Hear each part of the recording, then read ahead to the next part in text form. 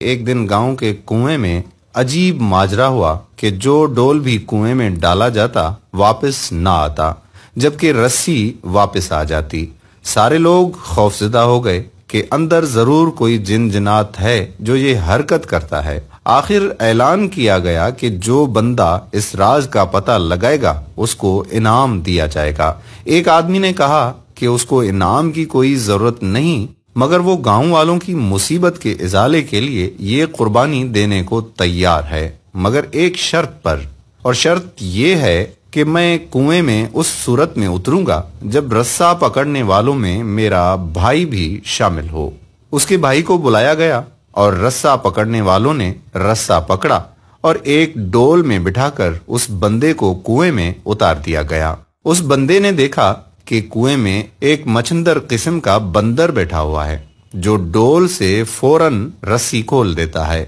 اس بندے نے اپنی جیب کو چیک کیا تو اسے گڑ مل گیا۔ اس نے وہ گڑ اس بندر کو دیا۔ یوں بندر اس سے مانوس ہو گیا۔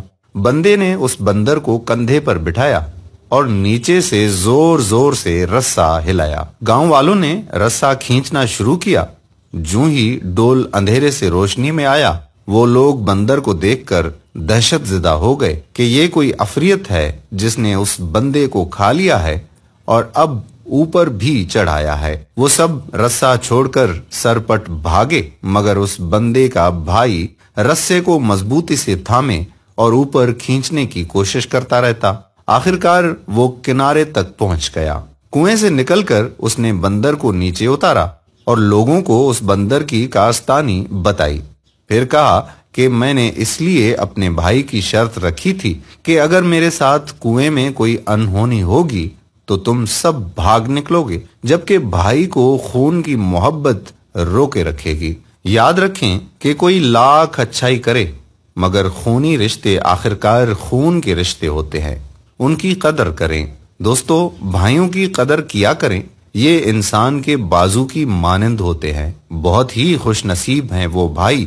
جو ماں باپ کے ہوتے ہوئے بھی اور ماں باپ کے بعد بھی اپنے بھائیوں کا ساتھ دیتے ہیں۔ اللہ پاک سے دعا ہے کہ تمام بھائیوں کی عمر دراز کریں اور جو بھائی آپس میں کسی وجہ سے ناراض ہیں، ان میں سلوک، اتحاد اور محبت پیدا کر دیں۔ آمین۔ ثم آمین۔